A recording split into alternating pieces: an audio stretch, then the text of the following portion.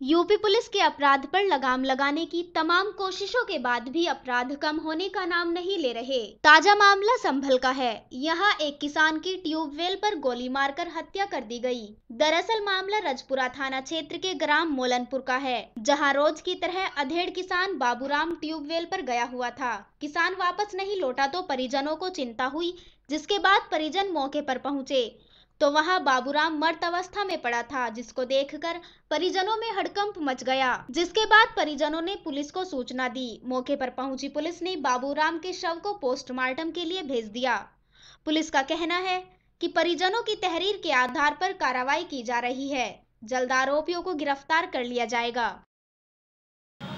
आज सुबह रजपुरा थाने को सूचना मिली कि मोलनपुर के पास सिकंदरपुर के जंगल में एक लाश पड़ी है। इस सूचना पर तत्काल पूरा की पुलिस वहाँ गई है, उन्होंने देखा चारपाई पे एक व्यक्ति एक व्यक्ति को गोली लगा है और उसके सीने के बाईं तरफ़ गोली मारी गई है। उस साथ फिर तत्काल पुलिस ने उस लाश को अपने कब्जे में लेके पंचायतनामा भरा और उसके बाद लाश को पीएम के लिए भिजवा दिया गया है। मृतक के लड़के से तहरीर ली जा रही है और तहरीर के आधार पर ही कार्रवाई की जाएगी। अभी मुकदमा पंजीकृत नहीं हुआ है, सर? मुकदमा भी तहरीर वो लिख दिए नहीं है लिख रहे हैं। तत्काल मुकदमा पंजीकृत